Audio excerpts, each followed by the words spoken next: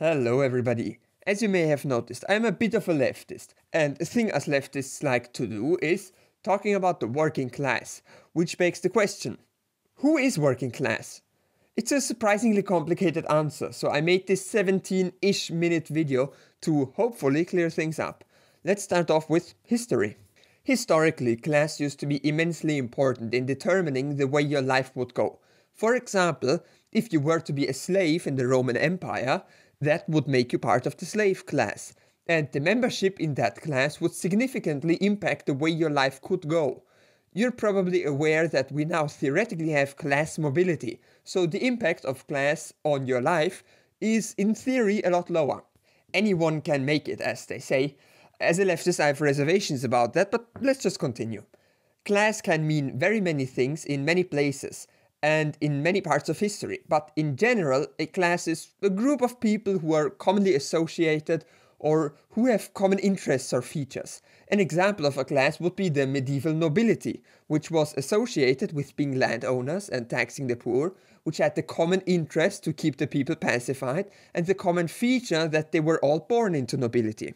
We will focus on the common interests for now. They are called class interests. For example, it is in the class interest of the medieval nobility to tax the peasantry. That means it would be of advantage for every individual member of the noble class to do. This does not mean that the nobles don't have the freedom to do whatever, or that they are possessed by some sort of hive mind in the form of a class. It just means that by being part of that class, they have incentives which create class interests. Like again, taxing subjects so they can have more money. That's a class interest of the nobility. That doesn't mean that all nobles will tax the peasants a lot. It just means that it's in their interest to do it. On the other hand, the peasants don't have such class interests because they don't have anyone they can tax. That means that different classes have different class interests. Now that we have examined the basics of classes, we can have a look at how class is seen nowadays. That means I'm primarily explaining the neoliberal view right now. Let's start off with the question how many classes are there? Most people who have gone to a business school, as well as everyone on TV, will tell you that there are three classes in our economy that is the upper class, the middle class, and the lower class. That is the modern consensus of what classes exist. Classes have become only an unofficial system in our modern day. As you know, this isn't feudalism, class mobility exists. That means you can't switch classes, so they are a lot less important than they could be. Which class you're part of is mostly determined by your individual wealth. That means the worth of all of your stuff plus the money in your bank account minus all of the debt you have. That means a millionaire like Donald Trump is upper class, and a McDonald's cashier or an unemployed person would be considered lower class. In this case, that is due to them probably not being very wealthy. But there is another way to be considered lower class, and that is to have a low prestige jobs. Those jobs are usually very physically demanding but easy to learn, which often but not always makes them badly paid. Examples could include industrial workers and miners you know, all of the jobs you wouldn't want to do because they are hard and the working conditions are bad. And even if a coal miner makes lots of money, as unionized workers tend to do, they would still be seen as lower class just because the job is seen as such. I mentioned the upper class and the lower class now, the only thing left is the middle class. And theoretically, everyone who isn't low or high class is middle class. That means, for example, a bank teller is middle class, a teacher is middle class, and so is the junior assistant security officer at your local Walmart. The middle class is not as well off as the upper class, but they're still a lot closer than the lower class. Typically, you'd assume the middle class to be able to own their own homes, to find an alright office job, to found a family, and so on. If you've heard about it, the American dream is pretty much how you can imagine the middle class. Let's talk about the history of how it came to be like this. The typical story says that a long time ago, humans lived in tribes and naturally built different classes like that from ownership of land. To skip over a lot, later medieval peasants were a thing, and around the 1800s, the peasants revolted and created a new system of land ownership. That was the end of feudal land ownership. Uh, they introduced capitalism, in which everyone can own land, provided they're wealthy enough to buy it. But crucially, they forgot to take all of the wealth from the feudal landlords, so the old nobility, or at least some of them, began buying all of the land, including the farmland, which the farmers were just given as part of the revolution. Then the Industrial Revolution started, and there are two classes the upper class and the lower class. The upper class, which descended from the feudal nobility, quickly bought all of the land and founded factories to make the lower class work on it in their conditions. The lower class had to work hard and they were miserable. At this time, work usually lasted something like 12 to 18 hours a day, 7 days of the week, with barely enough payment to get through a week. This class was naturally seen as very poor and exploited, and because they were the people doing the work and making the machines run and digging up coal, they were called the working class. And those bad jobs from the Industrial Revolution are still oftentimes seen as lower class today. So now we have found the upper and the lower class, but we're still missing the middle class in between. There are two different stories about how it came about, and one goes that eventually the members of the upper class realized that paying the workers more means that they can buy the products they make. Uh, an example is Ford, who produced cars for the rich and then discovered that mass production and livable wages would result in his employees buying his product. The other version is that workers unionized and demanded better pay and working conditions, which eventually allowed them to afford luxuries which had previously been out of reach of the working class. Which version you believe can depend on your political positions? Most likely, it was a bit of both. Unionized workers and economic self interest of the capitalists. Anyway, from a combination of well paid workers and cheap mass produced products, the middle class was born. If you ever heard about the 50s in the USA, you know that it was a relatively good time because many families were able to move from the lower class to the middle class, uh, and some even managed to become part of the upper class. So, this is the typical three class system you will see in most neoliberal economies and societies. And upon being asked, most will tell you about these three classes. However, there are some who disagree. Some who say that the three classes are arbitrary and shouldn't be used.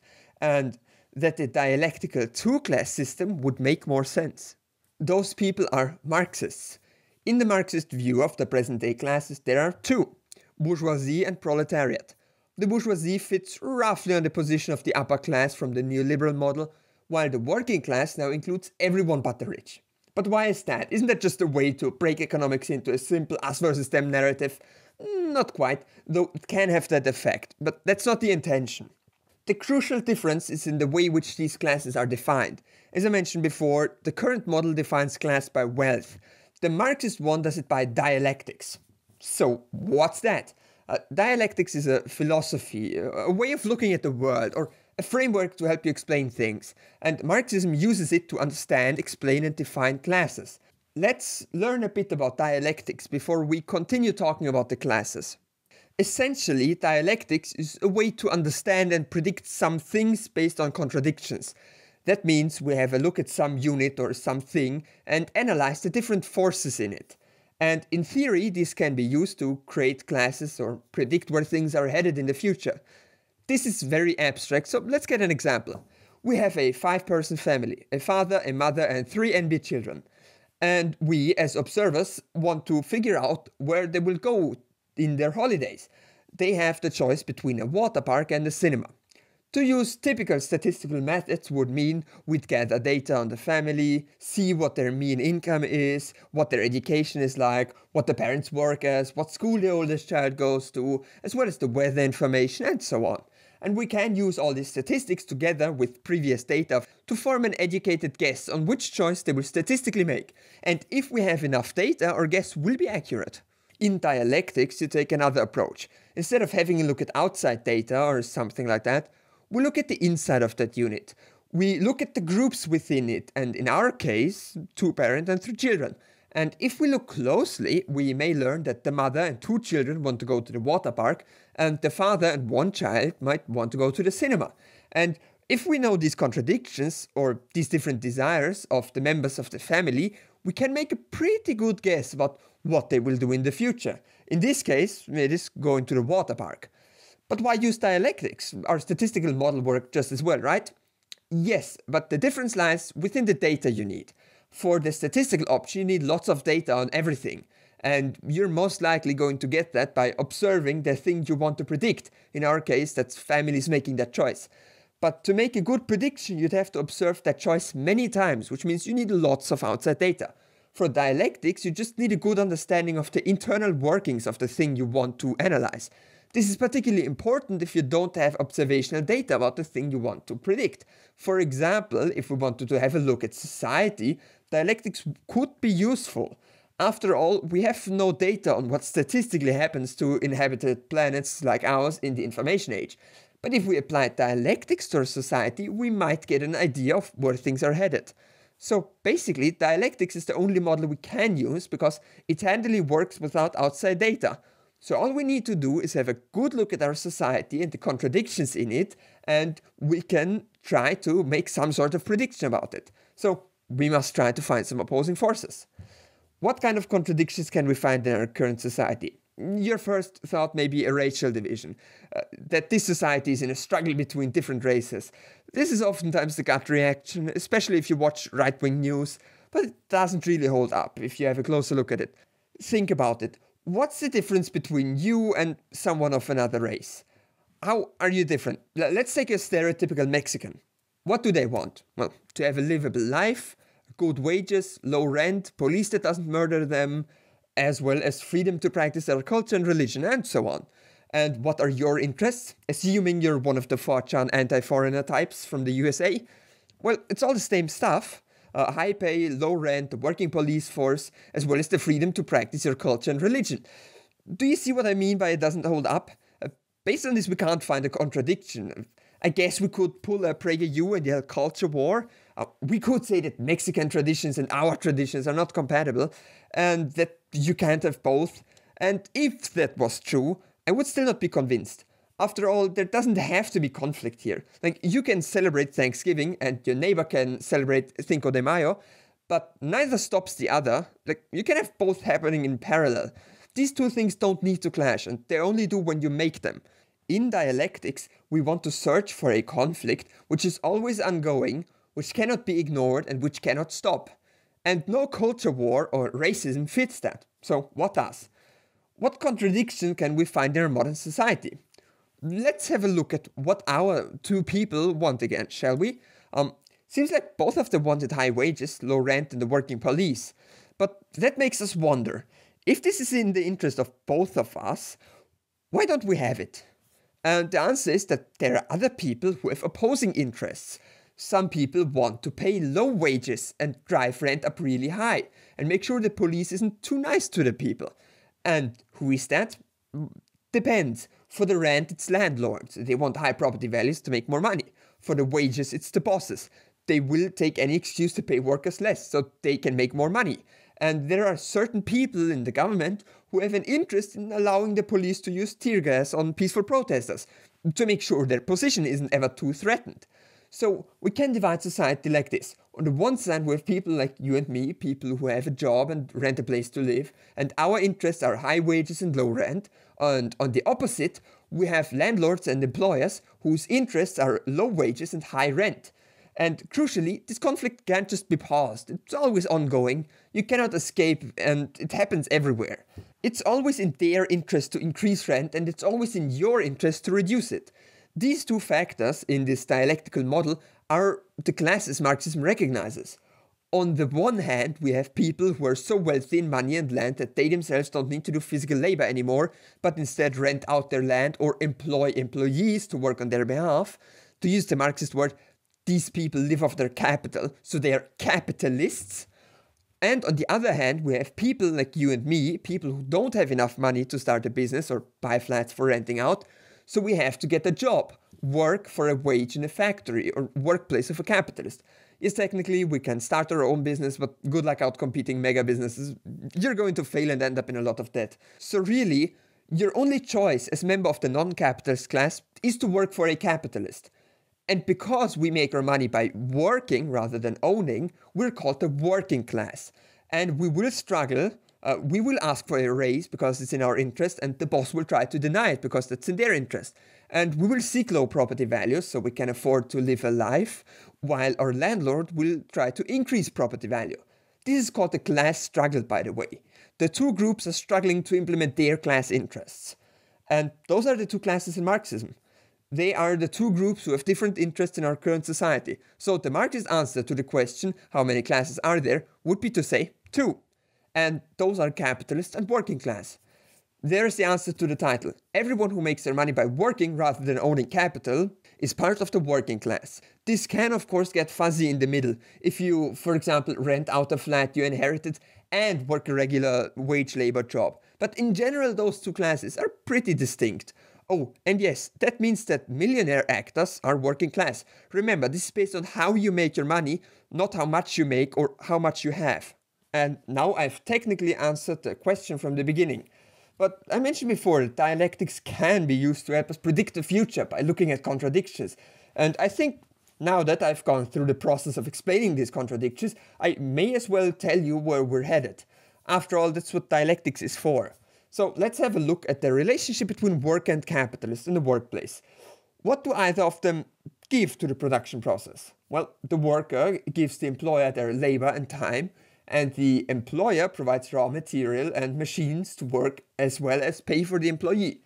Now, if we have a look at that payment through a Marxist lens, it's inherently exploitative for reasons I explained in this video.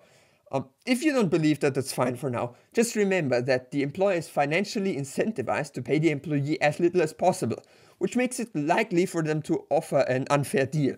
That's in their class interest, after all. So, if we look at what either of these people give, we can see that the employee is providing all productive labor, where the employer is only providing things that can be bought. And crucially, that means that the employer cannot make money without the employees working for them. But the other way around, there is no reason the employees couldn't work without the employer, provided they somehow managed to get financially independent from the capitalist. After all, the employees could manage their workplace perfectly well via democracy. The only reason they're not doing it is because they're lacking the capital. Because if they had the capital to start a business and live off that, they would be capitalists.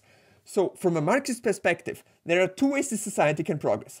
Either the capitalists will remain in power indefinitely, always trying to take advantage of the majority and never getting removed, or one day the workers have enough of the class struggle, overthrow the capitalists, seize the businesses, and run them on their own without capitalists. And a business run by workers without capitalists is by definition socialist. Those are the two options. And taking that, so far no economic system has lasted forever, I would bet that one day capitalism will fall in favor of socialism. And that's why socialists sometimes say that socialism is inevitable, because it's either that or this system built on conflict will never change. And I'd say at some point this conflict has to be resolved. Thanks for watching, please like and subscribe and such. I usually upload once a week, though I can't promise that I'll keep that in the near future. I've got a lot going on right now. Um, I'd like to thank my patrons for giving me motivation in the form of money, and I'd like to especially thank Darius the Bird, Noah, Herdington Gerdington, Joey, Klastrup, Morally Conflicted Tortoise, Spear, Tyler Dang, Generous77 and Aaron J. Patton for their generous donations.